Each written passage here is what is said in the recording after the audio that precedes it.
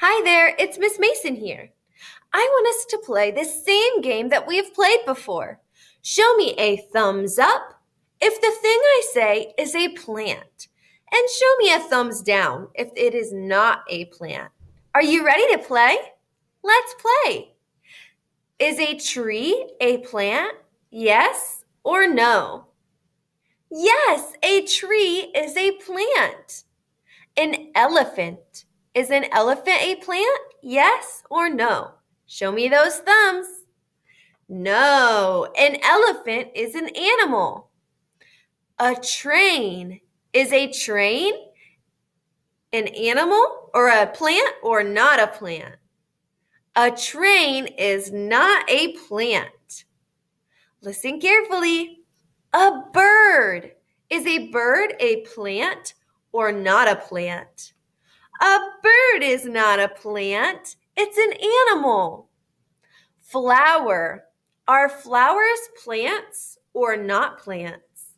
Flowers are plants. Wonderful job. How about a carrot? Is a carrot a plant or not a plant? A carrot is a plant. A carrot is a delicious vegetable. But remember, fruits and vegetables that we eat are also plants. What about a preschooler like you? Are you a plant? Yes or no?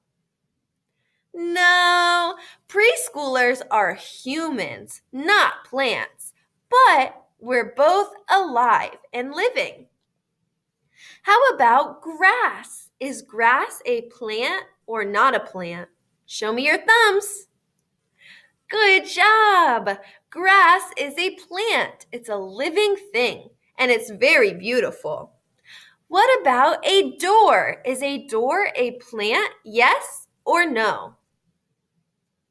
No, a door is not a living thing, so it is not a plant either. All right, and our last one a pencil. Is a pencil a plant or not a plant? No, a pencil is not a plant. Great job finding out whether or not something is a plant or not a plant. Now, what you're going to do is create a plant mural or drawing. I want you to think about our story that we just read. The last page with the girl sitting on a bench, surrounded by all kinds of beautiful plants, trees, flowers, vegetables, fruits, all kinds of wonderful things. Now I want you to draw a picture of you sitting down and surrounded by all kinds of different plants. Think about the plants that we read about in our story. We saw lots of different kinds, so make sure to draw all kinds of wonderful plants. Most of the time, plants have lots and lots of green, so make sure you use your green crayon to draw you and all those plants. I can't wait to see your work on Flipgrid.